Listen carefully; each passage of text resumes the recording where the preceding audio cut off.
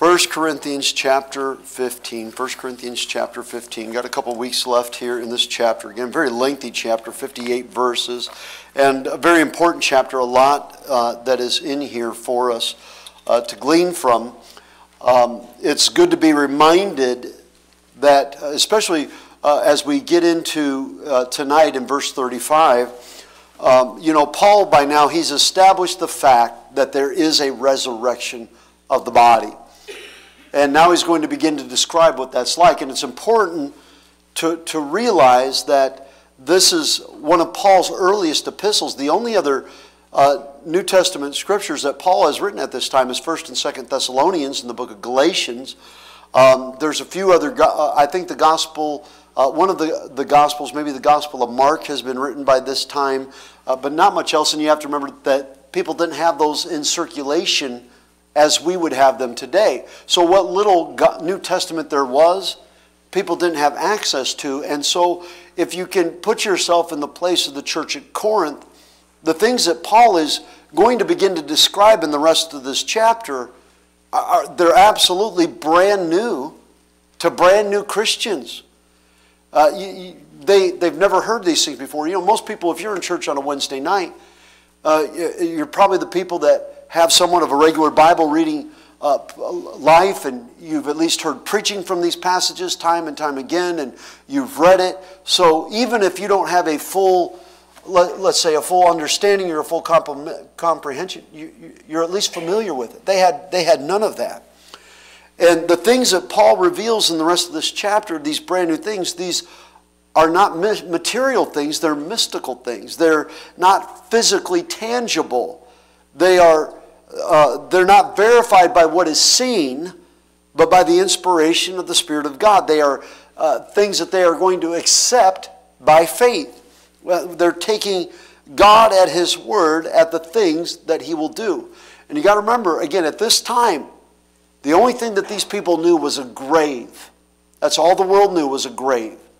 They didn't, they didn't speak of resurrection. They looked for a Messiah. But they did not speak of resurrection, certainly not for themselves. And so now this is, if, if you can just put yourself in that, that, that, that place and, and, and put, them, put yourself in their place and look at it in, from their point of view, this is really astounding what Paul is about to reveal. Now, this chapter is divided, the rest of this chapter is divided into two parts verses 35 through 50, and then verses 51 through 58. I'm not going to be able to get close to anywhere near all of that tonight. Uh, but we're going to probably read from verse 35 down to verse 33 and look at what it, Paul says here now uh, under the inspiration of the Holy Spirit. But some men will say, How are the dead raised up? And with what body do they come? Thou fool, that which thou sowest is not quickened, except it die. And that which thou sowest, thou sowest not that body that shall be, but bear grain, it may have chance of wheat or of some other grain. But God giveth it a body as it has pleased him, and to every seed his own body. All flesh is not the same, but there is one kind of flesh of men, another flesh of beasts, another of fishes, and another of birds. There are also celestial bodies and bodies terrestrial. But the glory of the, the glory of the celestial is one, and the glory of the terrestrial is another. There is one glory of the sun, and another glory of the moon, and another glory of the stars. For one star differeth from another star in glory, so also is the resurrection of the dead. It is sown in corruption, it is raised in incorruption. It is sown in dishonor, it is raised in glory. It is sown in weakness, it is raised in power. It is sown a natural body, it is raised a spiritual body. There is a natural body, and there is a spiritual body. Heavenly Father, uh, one more time, we come to you tonight and we ask for your blessing on your word and the Spirit that gave it and inspired it uh, to the infant church thousands of years ago. Lord, may He break fresh bread for us, and Lord, uh, to, uh, give us light uh, for living today, and we'll give you our thanks for it in Jesus' name. Amen. So now in verse 35, but some man will say, How are the dead raised up, and with what body they, do they come? Okay, Paul, uh, we, we accept the fact. Paul realizes that by this point, as they read this letter, okay, they're going to agree there is a resurrection. We'll, we'll give you that. And Paul begins to answer the questions that he realizes the church is going to naturally ask. Okay, how is this going to happen? What kind of body will be resurrected? Those are, um, those are very fair and natural questions. And so his immediate answer is, Thou fool. Now, that initial response might seem harsh on the surface, but it's really, it's not. The word uh, fool here in the Bible can be used in more than one way. It, it doesn't refer to somebody uh, that makes a rash or a foolish or a stupid decision. It really, it refers to somebody in, the, in this context, it refers to somebody uh, who is ignorant or lacks understanding. It's just somebody that doesn't know. And, so, again, uh, this is brand new information. So, Paul begins to help them understand by using several analogies or examples or illustrations, if you will, that, that they do understand, that they do comprehend. And he answers uh, in simplicity something that is very complex. So he answers complexity with something in simplicity. So he says, You know eh, that that which sowest, thou sowest, verse 36, is not quickened except it die. And that which thou sowest, thou sowest not that body that shall be, but bear grain, it may chance of wheat or some other grain. So what he's saying is this you got these seeds and you're getting ready to plant a wheat harvest. Well, if you leave the seeds in the paper sack that you bought them from from the, from the nursery, if you leave the seeds in the jar that they were sitting in, are they ever going to grow? Are they ever going to bear their fruit? Are they ever going to produce the vegetables or the grain, the wheat specifically that Paul referred to? No, if you don't sow it, it's not going to die to itself and raise up, is it? No. Uh, they, have, they have found seeds in the pyramids that are thousands upon thousands of years old that they have taken out and planted in seeds that were five to 6,000 years of age. As soon as they were planted in water, they sprung up and bore fruit. But they sat there for, you, you got to sow the seed. You know what? Good news, bad news, bad news, good news. If you want a resurrection, you got to you got to die to live again. Do you know even the rapture, and Paul's going to begin to describe that at the end of the chapter, but by definition, even those that, and everybody wants to go to the rapture. Everybody wants to go to heaven, but nobody wants to die. You know, we all, everybody sings that song, and that's true. If you don't feel that way, uh, you, are a little, honestly, you're just a little cuckoo. It's natural. I, I don't know about you. I'd rather go with the upper taker than the undertaker. Amen? All right? I'm close friends with Todd Walton, but I, I hope we remain that way till the rapture of the church, okay? And so, I, I uh, that, that resurrection, even the rapture, is a, the, this mortality is putting on immortality, this corruption is putting on incorruption. Even that translation to some degree is the experience of death to a degree. You may not have a funeral service, you may not be buried six feet under, but you have to die to live again. And when a seed is sown in the ground, it dies, but in the process of time, it rises from the ground, but it doesn't come up a seed, does it? It's in a different form.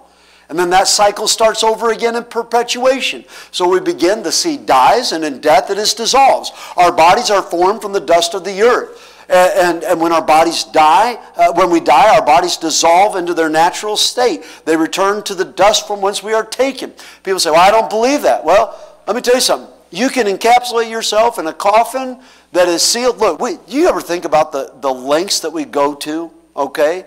I mean, we spend large money on a coffin and a concrete vault. And I mean, eh, to put somebody we love that is not there. And you can put them, I mean, you can vacuum seal them. And if you pull that thing out of the ground and no worms have gotten in and no water's gotten in and, and no bugs have gotten to them, and to be quite honest, and I don't mean to be cold or callous, but what does it matter? What does it, honestly, what does it matter? Look, people have been buried that way for thousands of years. What we do today is very recent. I'm not saying it's wrong. Please don't misunderstand me. But what I'm saying is, if you give it 100 years and you pull that thing up, you know what you're going to find? You're going to find a pile of dust and ashes. People say, I don't believe we're dust and ashes. Well, give yourself 100 years, you'll find out.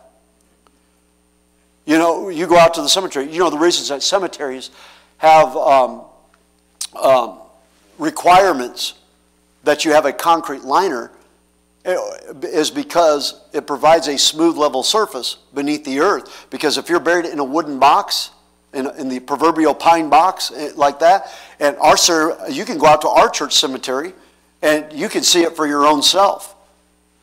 Even that wooden box will decay over time, does it not? And the box and the and the body decays, and then what happens is it creates a sinkhole, and, and that's where you get those depressions in the ground right in front of the tombstones in the older cemeteries that are 100, 150 years old, like ours is, 170 some years old, ours is. Why? Because when we die, we return to our natural state. And death is a reality of life.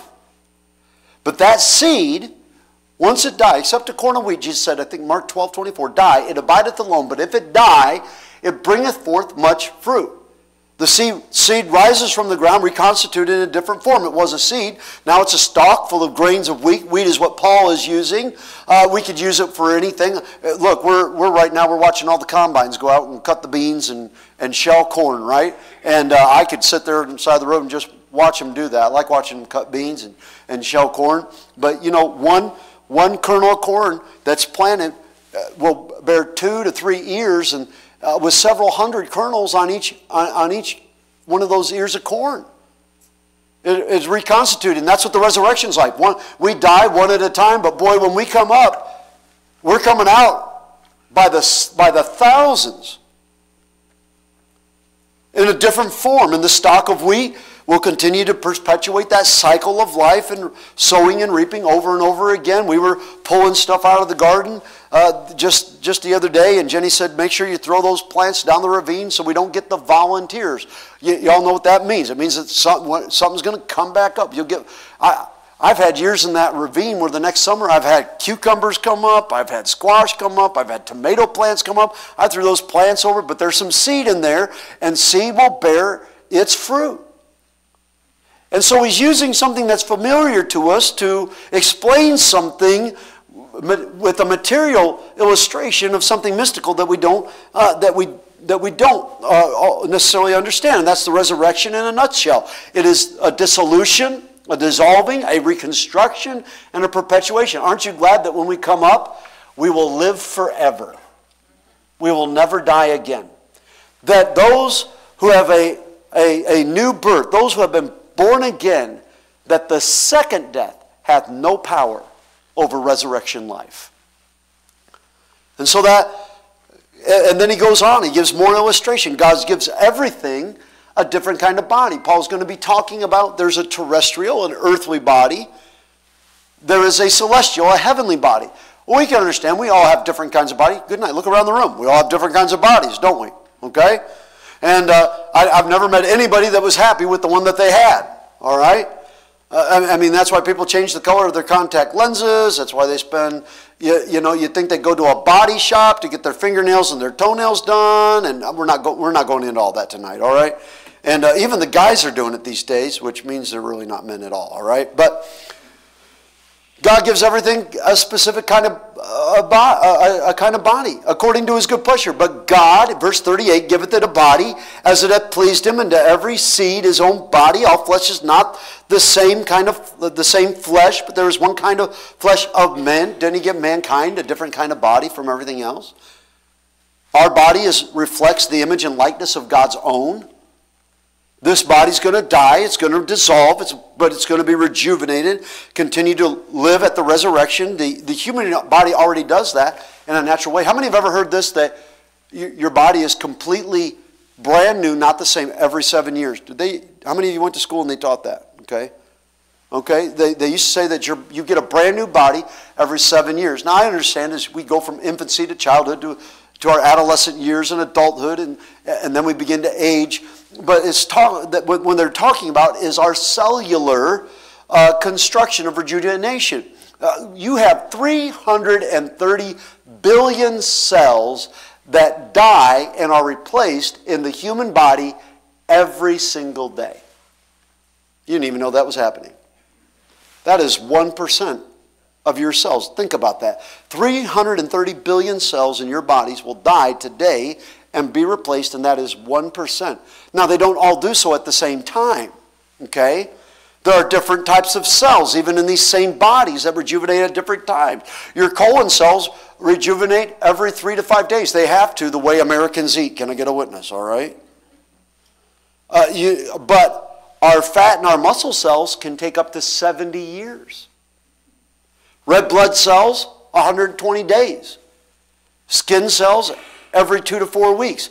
Hair cells in women, every six years, but in men, every three weeks, which is why we have to go to the barber so often. Your liver cells rejuvenate every 150 to 500 days, depending on uh, who you are. Um, the cells that line our stomach last only about five days. Bone cells will last for 10 years. Overall, on average, our cells average about seven years, which is why they say that you are not the man you used to be. From, you know, I'm 49. I'm on my seventh body. I did not know that until today, okay? And they're getting to be like dog years, okay? But uh, don't, don't be harsh on me. Some of you are older dogs than I am, okay? But our natural body is going to continue this cycle, but it is going to age, and one day it's going to die. Our resurrected body never dies. Now, the beasts of the earth, they have a different kind of body, don't they? It doesn't matter if they're a predator or a prey, they all have they, they don't all have the same kind of flesh. That's why we like going to the zoo. I love going to the zoo. You know why? Because not all animals look the same. The, the, the gorilla uh, and the hippo, they don't look alike, do they? The, the, the, uh, uh, the platypus and the zebra, they don't look the same. Elephants have different bodies than a sloth, the lion and the buffalo, a cat and a dog. Uh, uh, you can go on and on. There, there are different kinds of body. God gave another kind of body to the fish, suitable for their environment. They have that sleek, torpedo-like body, and even those have different shapes, but they have, uh, they have those fins that can steer and bodies that can glide through the water, and they have gills so that water passes over them and provides them with oxygen. And, you know, the average person, you, you know, cannot hold their breath underwater for more than a minute. You might be some Harry Houdini and be able to go for two minutes, and there are a few that have gone for five, and I know about the pearl divers that can go. But, but on the whole, the average human being, the 8 billion people on this planet, most people, honestly, can't hold their breath underwater for 30 seconds. 30 seconds would be good for most people. God gave the fish a different type of body for the suitable to the environment. Same, it's the same way with the birds. Uh, they've been given a different type of flesh that allows them to fly through the air. They have aerodynamic wings as opposed to arms like we have that allow the wind, currents of the wind to pass beneath them and lift them up into the heavens. They, they're, they're, our bones are, are dense, and good night, we got to start taking vitamin D as soon as you turn, you know, 39, like Jack Benny, so that you can keep your bones strong and healthy. Everybody's taking vitamin D3. If, if you don't know what that is, it's just you ain't there yet. You will be, okay? Why? Because human beings have strong, dense bones, but the bones of a bird's uh, body are, are hollow to keep them light so that they can, again, uh, so that they can continue to reduce weight, so that they can soar in the heights. You know, when I was a boy, me and my brothers, we'd get on the bunk beds, we'd tie a, a blanket around our neck, and we would spread out our wings, and we would try to fly, and we would fall like hammers. Okay? Why? Because we got a different kind of body. And you can jump up, but you're coming down. We have, you know, you're just not going to fly. So these are things that the church could easily uh, under, uh, observe and understand that there are different kinds of bodies on, on this earth. And in the same manner, there are celestial, heavenly bodies and terrestrial, earthly bodies.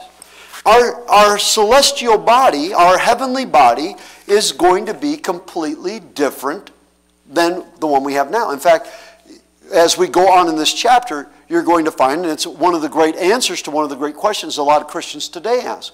Well, if people are in heaven, they have a heavenly body, why do they need a glorified body in the resurrection? Because there's different kinds of heavenly bodies.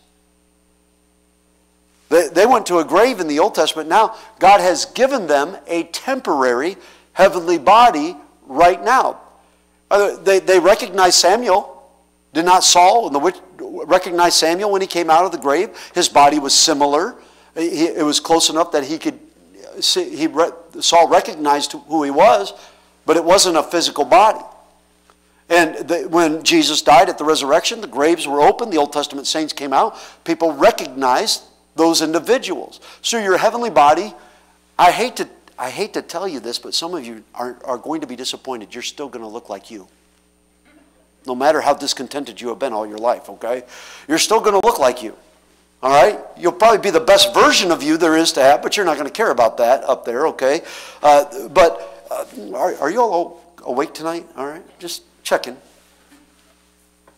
But you're, you're going to have, and, and, there is a glorified body, and if you've been in Sunday school, you'll understand this. That is our predestination. When we will, our, our body will be changed, fashioned like unto His, like unto Jesus. The people that have a heavenly body now do not have a body, it's a celestial body, but it is not a body that is glorified, fashioned like unto the Lord Jesus Christ. Not yet. That's why they that's why the dead in Christ have to rise first. Because they need a res, they still need a resurrection to give them the predestination of a heavenly body that will be transformed and fashioned like unto Christ. It's a different body. You know, in both the Gospel of Mark and Luke, there is the story of the Sadducees. Mark chapter 12 and Luke chapter 20 where they came and they tried, remember, they tried to track, uh, catch Jesus in a trap, and they said, okay, so there was this woman, and, and she had a husband, and she didn't bear him a child, and according to the Jewish law, the man died, so she had to marry his brother, and the first child be named after the first brother, and the second child be named after the second brother, but this poor guy died, and she, he, she never had any children by him, so she married the third, and on and on and on, this went till seven brethren had died, and of course, they cre created something that was superlative that probably never actually happened. And if it did, the poor woman died of exhaustion after seven brothers, I would think. And, and, and, and they said, So in the resurrection, if there is a resurrection, Jesus, whose wife is he? And what did he say? Ye do err, not knowing the scriptures. He said, We won't have the same kind of body, for we shall be as the angels, which, are, which neither marry nor are given in marriage, Jesus said. It's a different type of body uh, we're going to be the bride of Christ. Let me tell you something. You're going to get a better marriage someday, okay? All right? And I'm happy if you're happy now, but the best is yet to come, okay? So uh, the, they were, uh, we're not going to, the, the bodies that are celestial are not going to have that same type of a relationship. It's different. And so he goes on, look what he says here. Verse 40 uh, there are also celestial bodies and bodies terrestrial, but the glory, notice the word glory of the celestial is one, and the glory of the terrestrial is another. Each one has their own unique, you know, this, this earthly body uh, that we have, it has its own glory. It is created in the image and likeness of God. Your spirit still communes with God. We do enjoy uh, the privileges of, of a divine institution and marriage and children and different things and family relationships and love. There is a glory. Okay, it's not all bad. And there is a glory of the celestial. And then he goes on in this in verse 41. There is one glory of the sun, and another glory of the moon, and another glory of the star. For one star differeth from another star in glory. You know, all the stars, there are small stars and medium-sized stars and large stars. There's dwarf stars, and uh, there's all kinds of things out there. That, that, that is inexhaustible when you get into, remember, there's a difference between astronomy, which is the science based on what we know, and astrology, which uses uh, an unclean spirit to use the stars to work in, uh, in supernatural ways in darkness. Okay, but in, in astronomy, uh, we understand there's all kinds of different stars and galaxies and all these things. And, uh, and they're each one different. I believe there's a foreshadow in this verse. Okay? Remember, and you've heard me teach on this before, preach on this, that in the Garden of Eden, something happened when Adam and Eve took the forbidden fruit, and the Bible says that they knew that they were naked and they were ashamed. They were naked before and they were not ashamed. What changed? And I believe, according to the book of Psalms, the Bible tells us that God is clothed. I think it's in Psalm chapter 103 that God is clothed in light. And I believe that they were clothed in the light of God. And when man sin, sin plunges us into darkness. God is light, and in him is no darkness at all. Uh, that that that that the, they lost the light of God. And losing the light of God and being plunged into the darkness of sin, it revealed the shame of their nakedness, even though they were a man and a wife. Because it wasn't that there was a shame as a husband and a wife, it was a shame that, remember, nakedness is offense to the holiness of God. Has nothing to do with the fact that it might or might not create lust. Has nothing to do with the fact that you want to get a tan or that you want to enjoy yourself at the beach. It has everything to do with offending the holiness of God. And here, I believe that in our celestial bodies, where the Lamb is the light of heaven, that we will once again be clothed in the light of God. There is no sun, there is no moon, and there are no stars in, the, in heaven, according to Revelation chapter 21 22. The Lamb is the light. And I believe that we'll be clothed with that light again. And I believe, based on our work and our witness, that some people are going to shine bright as the sun, some are going to be more like the moon, and some are going to be like the stars. And if you look out there, there are stars that shine very brightly, other stars that are smaller and they're not as bright. What determines that? Daniel chapter 12, verses 2 and 3, speaking of the resurrection, says this Many of them that sleep in the dust, that's what our body is made of, the dust of the earth shall awake. Some to everlasting life, that's the resurrection, and some to shame and everlasting contempt, that's the, the lost in hell. And they that be wise shall shine as the brightness of the firmament, and they that turn many to righteousness as the stars forever and ever. I, if I could encourage you in just one point tonight, it would be this. Imagine if we are clothed with the light of God in heaven, but our brightness is determined by the faithfulness of our witness for Jesus Christ. By the money we invested in missions, that 24 hour radio missionary, by the tracts we passed out, the doors we knocked on, the people that we prayed for, the people that we wept over, the people that we told time and time again. I don't want to get to heaven and look like a three watt light bulb standing next to a 5,000 lumen light, light hanging up in the garage. And folks, there is coming a day, I promise you, when we would give worlds to go back and shine and endure all our earthly sufferings and count them as nothing. And we are taught repeatedly, time and time again. By the way, this carnal church fixed their problems in according to 2 Corinthians. I have to wonder if this wasn't if this wasn't the point, the turning point for them. This is, man, all this other stuff, this meat's offered idols. Uh, the, the, this fornication, this guy that's living with his father's wife, and, and all the other problems, this popularity contest we're running in, this problem with the gift of tongues, it's, we're wasting our time on it. It's nothing but a senseless distraction, and on and on and on. If this wasn't the turning point, the catalyst that says, I don't, I don't want to be a three watt nightlight in eternity, but I want to burn and shine as the brightness of the stars forever and ever. Because one day we will be sown in corruption and raised in incorruption. We'll have a resurrected body that will never again decay, it will never again die, it will live forever. It is sown in dishonor, it is raised in glory. This body is a seed that is sown in dishonor. Our lives have been dishonored by sin. They have dishonored God. They have defended His holiness. They will be raised in glory. Uh, this is one of the scriptures that we use to refer to our resurrected body as our glorification, our glorified state. We will bring to God the eternal glory that is due to Him, never dishonor Him again. It is sown in weakness, it is raised in power. These terrestrial bodies are very, very weak, and we spend a lot of time, a lot of this people in this world spend a lot of their time devoting themselves to developing a power, and really all they possess is a tremendous amount of weakness. I mean, people will, will, will improve their lives with diet and exercise in order to perform feats of strength, gymnastics. You ever see these strongman contests? Athletic events, whatever sports, so on. And yet somebody, they can trip over a stone, roll an ankle, and be on crutches the same day, can't they? But they ran 26.3 miles and ran a marathon. You could, you could sprain your ankle and be done. Strong man can pull a muscle. And he can't pick up a gallon of milk, let alone pull an airplane on a rope, right?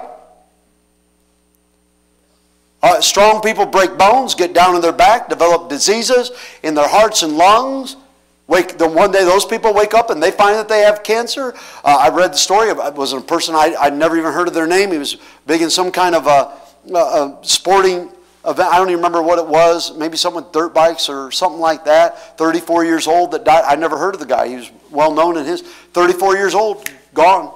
We are, we are sown in weakness. You might develop mental acuity and an aptitude that uh, gets you a high score uh, on, on, uh, on the SATs or, or win a spelling bee, but you get a headache and you can't concentrate, can you? These bodies are very weak. Do you understand that when we leave here, everybody is worried that we'll get home in time to what? I know to eat again, but to get to bed. Because the average human being spends one third of their life resting just so that they can get up and go on for a few hours, and most of them don't go on very well, do they? Do you understand there's coming a day when these very weak bodies will be raised in resurrection power? Nothing will prevent us from bringing glory to God. We will never get tired. We will never sleep. We will never break a bone. We will never become ill. We'll never be destroyed by age or disease. What a body. Look, that body, we spend a lot of time devoted to bodies here. That, and I'm, by the way, I'm, this is not any, this, there's no honor in neglecting it and abusing it either. You ought to be good stewards of the temple of God so that you can do God's will, God's will, not our will, but His, His will for, for this life. Be good stewards. But the weakness that we experience, there's going to be a day where you're going to join that crowd and just getting out of bed you're going to be excited about that. And I mean that literally.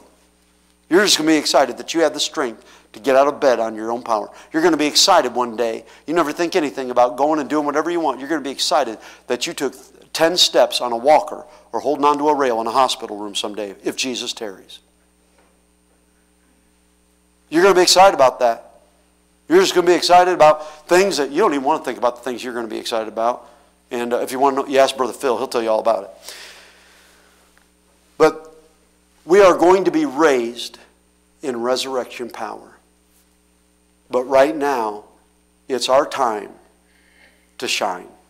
Because how you shine here, how you let your light shine before men so that they see your good works and glorify your Father which is in heaven, determines how we shine for all eternity. Heavenly Father, Lord, we thank you for the Bible study tonight. We pray that uh, your word, Lord, has been a help to your people. Our, our lives are very brief and very frail. And Father, we pray that tonight that we would just be reminded, Lord, not to be that one that stands wishing for worlds to come that could be ours, but never were, because we didn't shine for Jesus in the life that you gave us. We ask now that, Lord, that tonight those that come and, Lord, simply come in a house of prayer uh, to bring uh, their, their needs and their loved ones before your throne tonight, that you would meet with us as we humble ourselves in your sight and those in response to the message in Jesus' name. Let's stand. The piano's playing. The altar's open. Something that was said that the Lord spoke to your heart along the way. Maybe some personal need that you just need to come and bring before the Lord tonight. You're in a house of prayer. Why don't you come do business with the Lord?